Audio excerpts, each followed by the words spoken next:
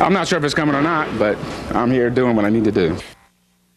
Meteorologist Justin Berk has been tracking Isabel for the past several days now. He joins us with the very latest on this powerful weather system and what it could mean for Maryland.